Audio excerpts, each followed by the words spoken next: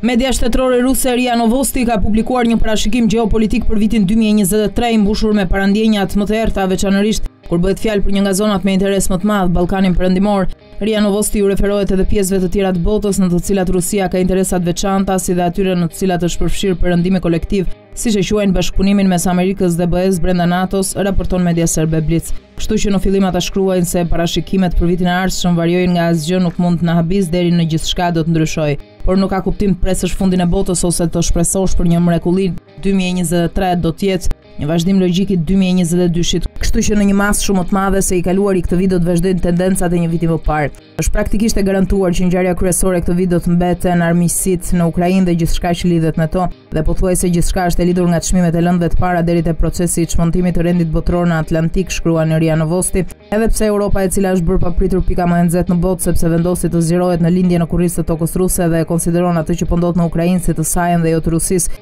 do të jetë në një gjendje të emocionuar. Përgjatë 2023-shit nuk ka asnjë garanci që rajoni tradicionalisht më i rrezikshëm i botës, Lindja e Mesme nuk do të rifitojë vëmendjen e komunitetit botëror, shton artikulli. Ria Novosti pohon më tej se qendra gjeopolitike e gravitetit do të vazhdojë të zhvendoset nga Europa dhe Mesdheu në rajonin e Paqësorit, por edhe se pjesët më të nxehta të dhimbjes mbeten në Azi dhe Europë, këtu jo vetëm Kosova, por edhe Bosnja mund të shpërthejë në vitin e ri, thekson agjencia ruse e lajmeve. Më pas ata iu drejtuan çështjes së Tajvanit, për cilën pretendojnë se do të zbutet këtë vit, por kjo nuk do ta ndalë konfrontimin mes SHBA-ve dhe Kinës. Për perëndimin kolektiv, viti i ri do të jetë një provë fuqie si për marrëdhëniet midis BE-së dhe SHBA-ve, ashtu edhe për vetë BE-n. Pakënaqësia e europianëve ndaj amerikanëve, nga të cilët varësia e tyre po rritet, do të rritet, por do të kapërcehet nga frika që pompohet përballë Rusisë, do të shtohen kontradiktat brenda BE-së, por jo aq sa të paralizojnë organizatën. Shkruan më tej media ruse. Sipas Moskës, Franca dhe Gjermania nuk do të jenë në gjendje të bien dakord për thelbin e udhëheqjes së përbashkët, as për parimin e autonomisë strategjike, as nuk do të mund të bien dakord për planet për pranimin e Ballkanit Perëndimor në BE.